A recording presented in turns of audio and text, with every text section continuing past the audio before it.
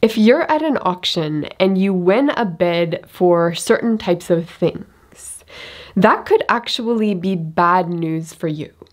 And that's because of the winner's curse. And this actually also applies to other things like buying a company or investing in a winner takes all sort of uh, company in an industry that's uh, perhaps digital. So I think this is an important concept to understand. And the best way of thinking of this is to imagine an auction that's a second price auction. And the only thing you really need to know about that kind of auction for now is it's actually in your best interest to bid what you believe something is worth.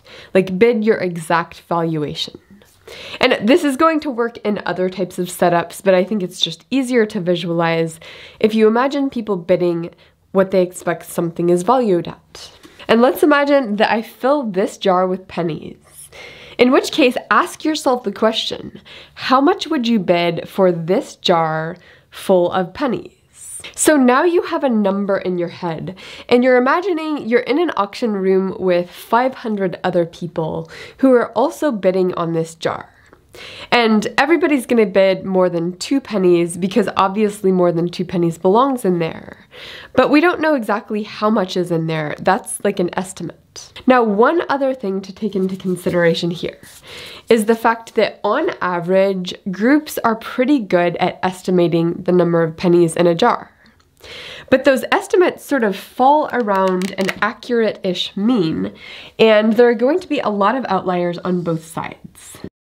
So this is a bell curve probability density function, and we might imagine if the actual value of that uh, that jar of pennies is $100, and I have no idea how much the actual value would be, but let's just say the real value is $100.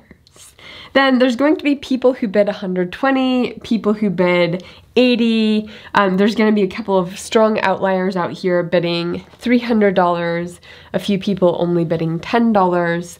But on average, they're going to sort of end up clustering around the real value of the penny jar.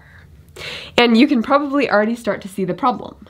The person who wins the bid for that jar is going to be the person who's farthest out on the outlier spectrum. The $300 person is going to win the bid. In which case, that person is cursed. They're paying $300 for something that only has $100 in it. They're giving up $200 of money. And that's the winner's curse. The winner's curse is the fact that the person who wins any given bid like thing is on average going to be someone who overvalues it, particularly if there are a lot of people in the pool. The only times the winner's curse applies are when part of the value for the item is inherent in something uncertain about that item.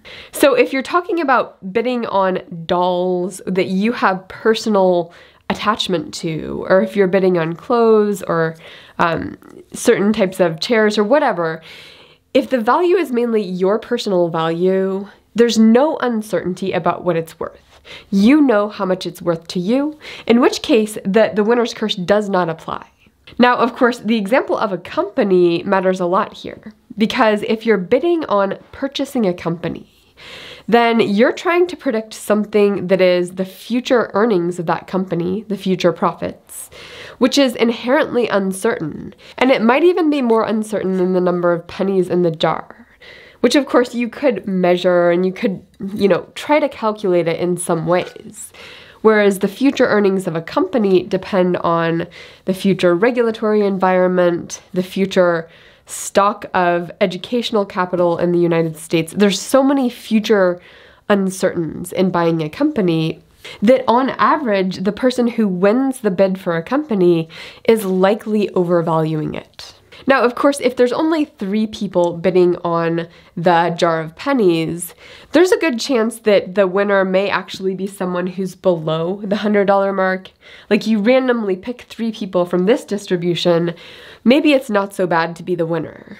But if there are 500 people, almost certain the winner's going to be sort of out here as an outlier. And that's the winner's curse. And I think it can actually be helpful in terms of thinking about winner take all industries.